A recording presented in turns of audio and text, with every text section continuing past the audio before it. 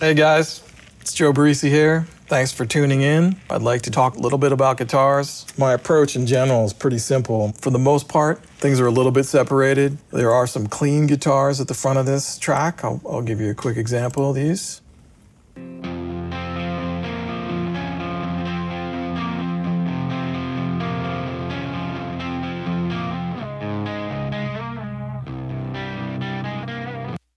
There's also, while that's happening, there's this 12 string part. It's just kind of harmonic y.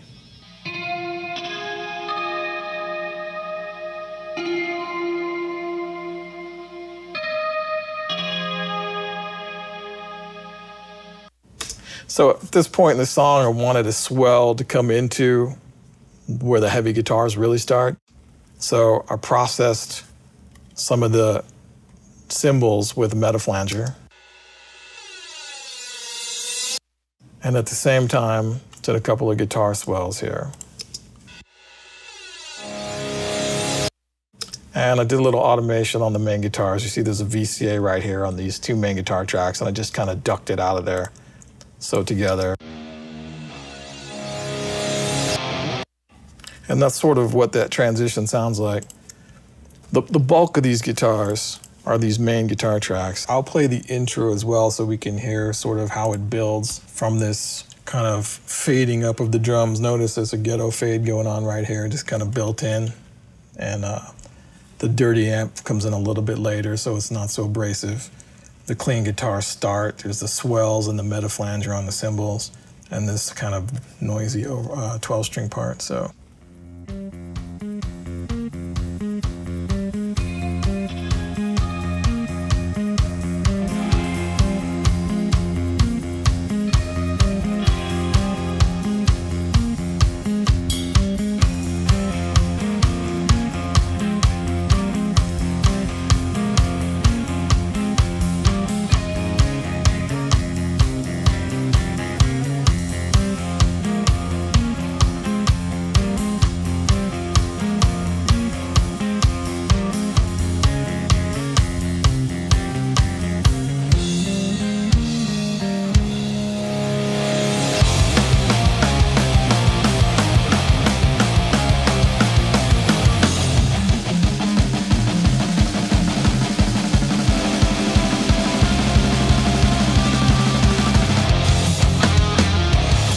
Get the idea. I, I probably would have done a master fader ride at that point too, just to make the front really kick in or pull the very intro back even further and push it up with the swells. You can get a little bit of more upfront thing happening when you get the compressors in. If I didn't have the console, here's where I'd be doing it. Always the threshold buried, fast release, and just a little bit of ratio to taste. And here's what it'll sound like.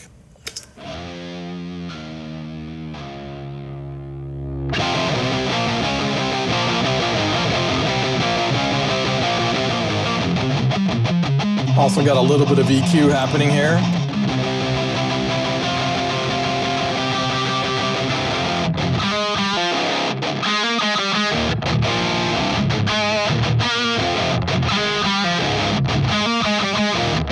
They're pretty crunchy already, but I don't mind it in this track. It gives you some kind of squishiness. I'm just gonna go through really quick, and, and for the most part, I'm gonna take out some low.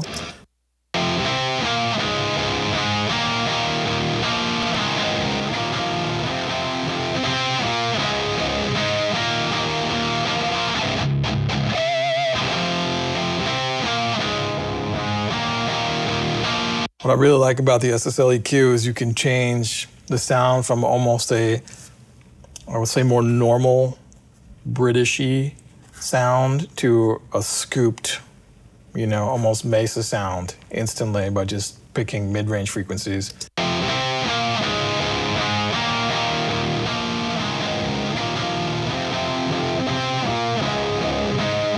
So in this case, I'm looking to try to get a little more low end out of this, and the wide bandwidth isn't helping me. So at this point, I'm going to start narrowing.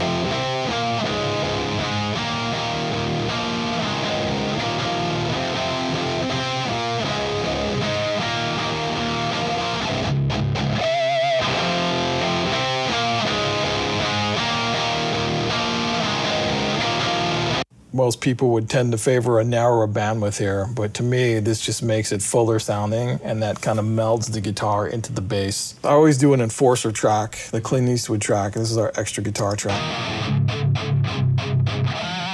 You can hear it's kind of filtered sounding, so when you play it against the main guitars,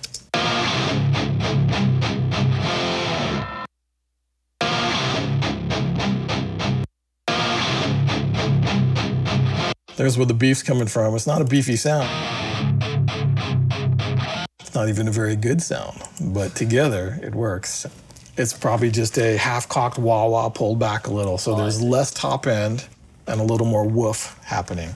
So that's something that I would do in tracking, but if I was mixing this and this needed some guts, I would EQ this guitar differently.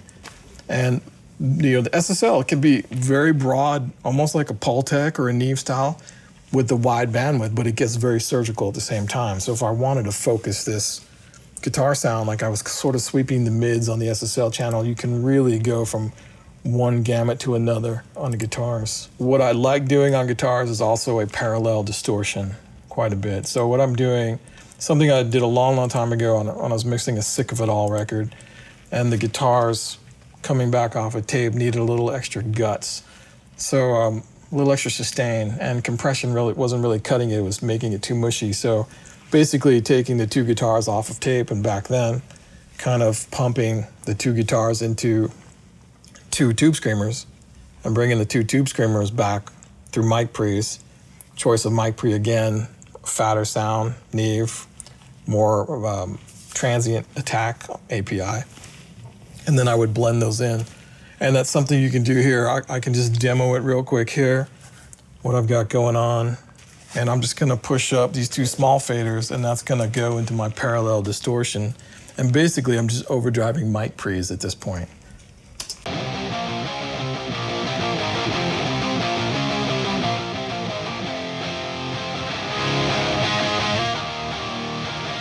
I'll just solo up the return only.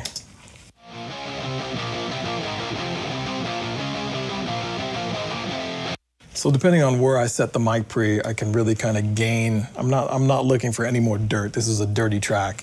Odds are I wouldn't even use this on this track.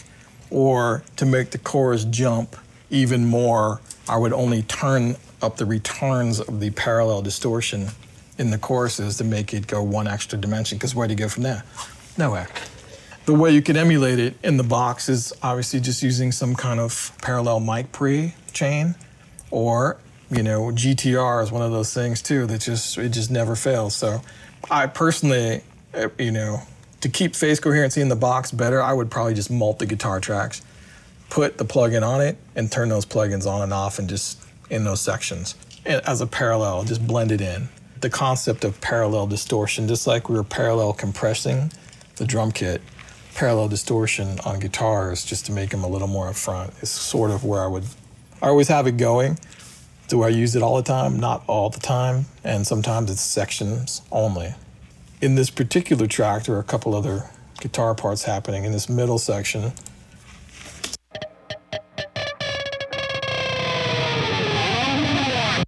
I'm a huge fan of making stuff outside the speakers, and one of the first things I discovered that does it is the S1 Imager. So I, I love doing things with this plugin where I'll automate this width and make a guitar or a vocal or a return of a reverb or whatever go from mono to stereo. So in this particular case, I'll just play it with the thing in mono. If you're sitting between some speakers and you do some crazy things like this. So that's one way to separate, you know, um, this scrape in the middle of this track. Check it out. I'll go back a little further so we can hear this section.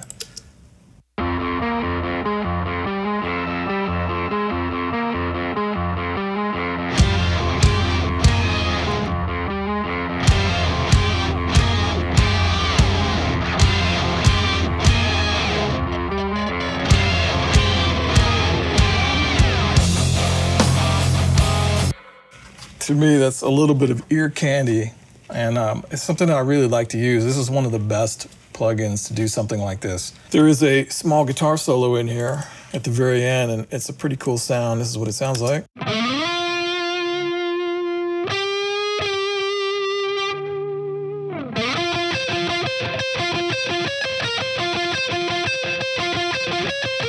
In the track.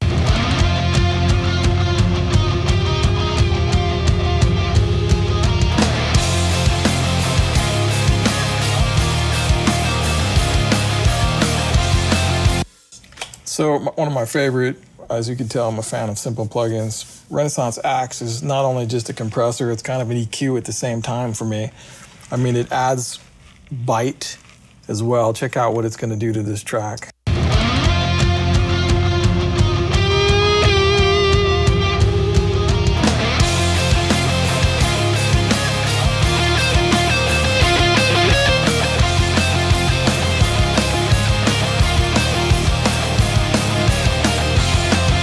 So with one plugin with three simple sliders on it, I've already kind of compressed and EQ'd my solo to stick out of this track without reaching for a compressor and an EQ or just over EQing something. I mean, the one thing you have to think about mixing in general and sounds like sounds mask each other. So in this section of this song, there's vocals, there's heavy guitars, there's all kinds of craziness, some cymbals going on. That's all kind of high frequency information.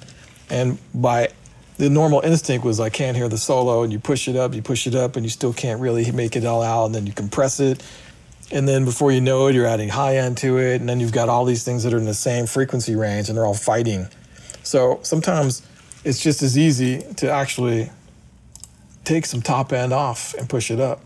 So I've set up this, you know, instead of the Renaissance Axx, at this point, I'll just do a, a different example where I'm actually going to EQ it but I'm not adding any top end. I'm pulling it off. I'm just going to turn the solo up.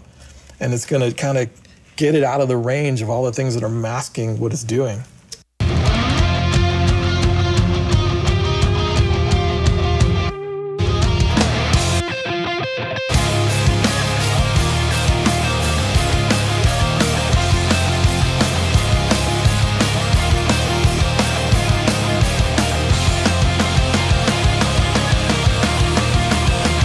Almost counterintuitively, by darkening something, I'm making it stick out of the mix better because I'm taking it away from the other areas that are masking its frequencies.